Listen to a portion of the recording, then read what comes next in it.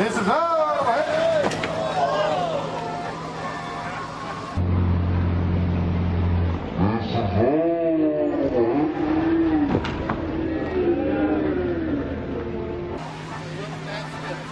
All right, looks like everybody's okay up here.